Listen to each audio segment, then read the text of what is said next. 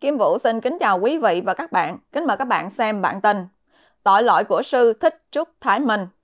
Ngày 24 tháng Giêng, trên trang Facebook Châu Đoàn, trang cá nhân của nhà báo Đoàn Bảo Châu có bài Sự nguy hiểm của thầy.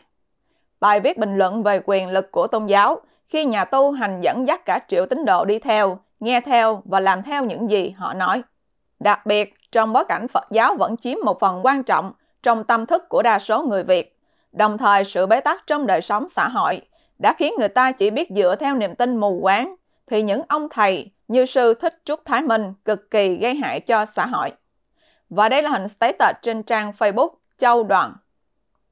Thời báo chấm D giới thiệu bài viết này đến quý khán thính giả nội dung như sau. Trong lịch sử nhân loại, tôn giáo luôn là một thế lực đáng kể, cạnh tranh với quyền lực của những người đứng đầu bộ máy quyền lực như vua chúa.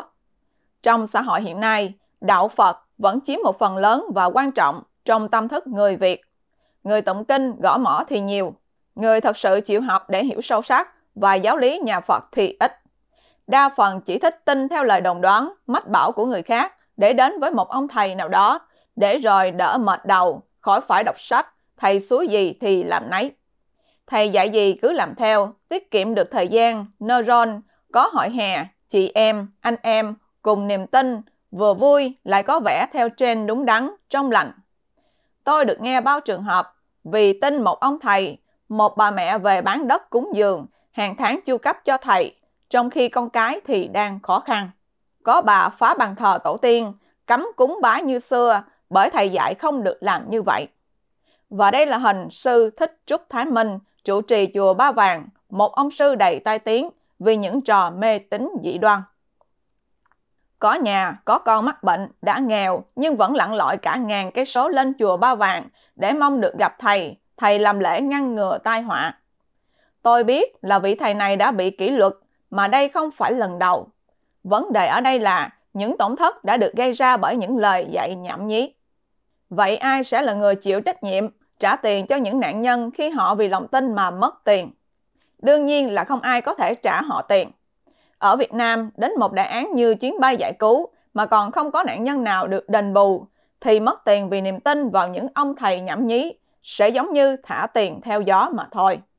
Lỗi này thuộc về các cơ quan quản lý và cụ thể là thuộc về Giáo hội Phật giáo Việt Nam. Các vị đào tạo thế nào mà ra những vị thầy nhảm nhí này vậy?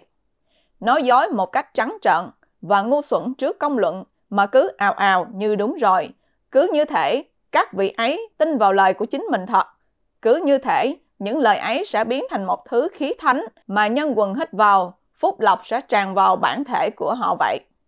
Và đây là hình vật được sư Thái Minh gọi là xá lợi tóc Phật.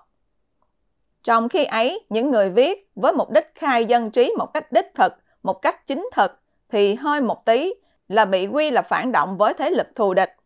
Đội quân, dư luận viên, bằng tuổi con cháu, sẵn sàng gọi họ là thằng, là con, thật chẳng khác nào, không khí bừng bừng khí thế thời cải cách ruộng đất.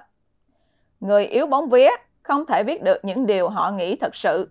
Đến blog cũng mỏi tai và mất thời gian rồi, chưa kể bao lần còn bị gọi điện, dọa kéo đến nhà, đập vào mặt, như các bạn đã chứng kiến trường hợp của tôi. Xã hội xấu bởi hai nhóm người, nhóm người biết mà không nói, nhóm người không biết thì lại nói và hành động như thể họ biết rất rõ.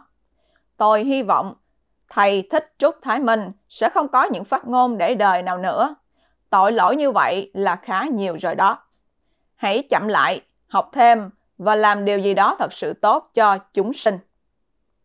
Quý vị và các bạn đang xem chương trình trực tiếp của Kim Vũ với bản tin Tội lỗi của sư Thích Trúc Thái Minh. Xin mời quý vị và các bạn chia sẻ video này cho nhiều người biết và bấm nút theo dõi trên YouTube và Facebook của Thời báo chấm đề để luôn được cập nhật bản tin mới nhất, nhanh nhất và trung thực nhất. Kim Vũ xin kính chào các bạn và hẹn gặp lại các bạn trong chương trình lần tới. Kim Vũ xin kính chào quý vị và các bạn, kính mời các bạn xem bản tin. Nhìn về quê hương, thấy gì cũng sai sai. Ngày 25 tháng Giêng, AFA Tiếng Việt có bài bình luận Quê hương có còn là chùm khế ngọt của tác giả Trần Hiếu Chân. Tác giả cho biết một anh bạn thân Việt Kiều, theo cách viết của tác giả, gửi cho tác giả một bài viết đăng trên blog với đoạn sau đây. Nay nhìn về quê hương, sau cái gì cũng thấy sai sai, ngay cả câu hát cào xé gan ruột, quê hương là chùm khế ngọt. Trên blog, anh viết hoa chữ khế giữa câu, tác giả hiểu là anh cố tình chọc quê. Theo tác giả, bài viết nói trên không nhằm đánh hội đồng Nguyễn Công Khế. Theo anh ấy, Khế có tội đến đâu đã có đảng và nhà nước lo, bởi nay mai Khế có thể thoát tội, cho nên khoan vội bêu xấu ông ấy. Và đây là hình bài trên AFA. Tác giả dẫn lời kháo chuyện của cánh nhà báo chuyên chạy mánh xứ Sài Thành. Theo đó, tiền của Khế như quân nguyên. Làm thằng viết báo xứ Đông Lào này cũng có niềm tự hào, chính đáng đấy chứ.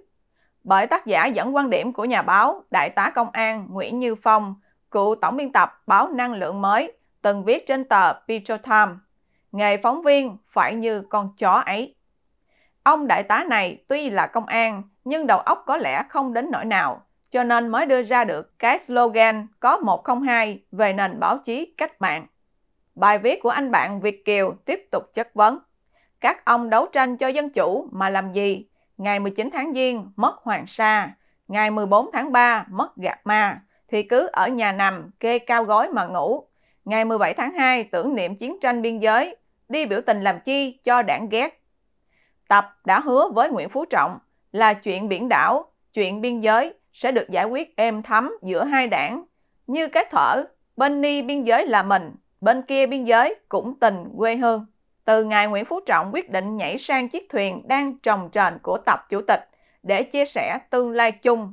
Một ngày không xa, khi cả hai cùng về chầu Hà Bá, thì cũng có liên quan gì đến đất nước này, dân tộc này đâu.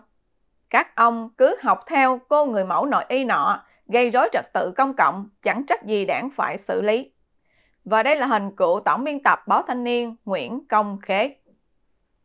Người bạn của tác giả coi các cuộc tỷ thí trên mọi quy mô ở xứ Đông Lào từ thuở có Việt Minh đến nay chỉ là các cuộc nội chiến không hơn không kém.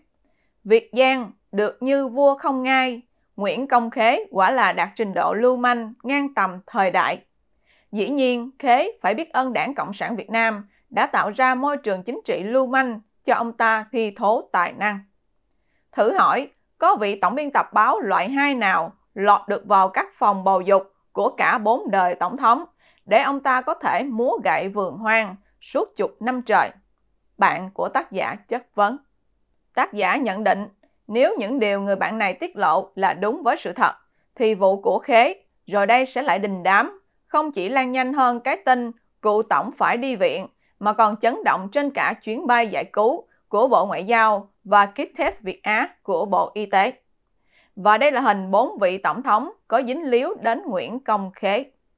Kết thúc bài viết trên blog, anh bạn hỏi nếu trong quá trình điều tra, bốn ông tổng thống đều có dính dáng đến Nguyễn Công Khế, thì liệu mấy ổng có bị luận tội hay không? Tác giả đành phải giải thích, không còn đương chức thì làm sao mà luận tội được?